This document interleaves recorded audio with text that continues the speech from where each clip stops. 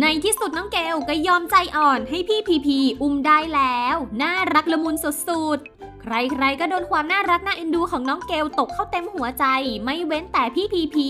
แต่บ่อยครั้งค่ะก็โดนสาวน้อยคนนี้ เมินไม่ให้เข้าใกล้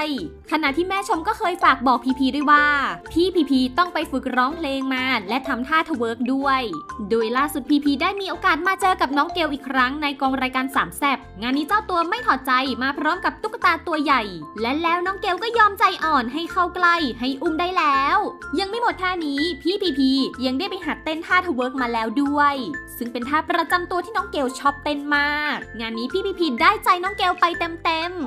ๆไว้มาแล้ว เกลได้ไหม มี Elmo มาด้วยนะโอ้ไม่เอาละวันนี้นะ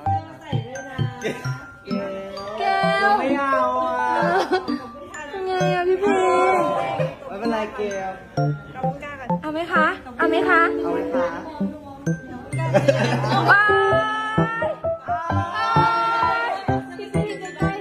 ใกล้เกลใส่เสื้อได้ไหมเสื้อสีไหนสีเหลืองๆเออน่ารักมากเลยอะน่ารักเกินนะคะเ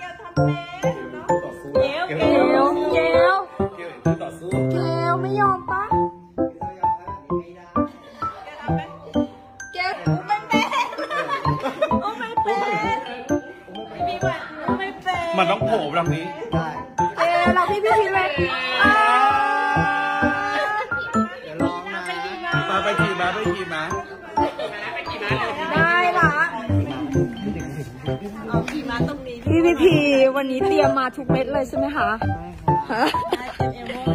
เตรียมทำคะแนนสุดมาเกลๆสิบเจ็ดแล้วค่ะไม่ไหวพี่แล้พีวกลัวกูน้อง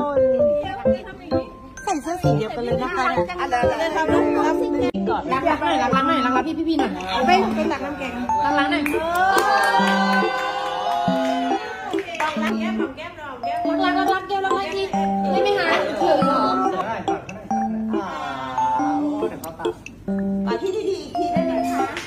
ปัดที่ดีๆล้างแก้มเกลเกินไปนะ เกินไปมิ้นเนี่ยตัวไรแก้ว มาเลยนะคะ พี่พีต้องมาอีกตัวละเอาไปล้างเลยเกลทำไงทีละแข่งด้วยทีเลยแข่งเลยแข่งเลยแข่งเลยดึงดึงดึงดึงดึงดึงดึงดึงดึงเมลอนเอาเมลอนอันนั้นเมลอนเกลอันนี้เมลอนอย่างนี้เมลอนอย่างนี้เมลอนแต่ถ้าดึงดึง อย่าลืมกดติดตามและกดกระดิ่ง เพื่อจะได้ไม่พลาดคลิปใหม่ๆกันด้วยนะคะ ขอบคุณค่ะ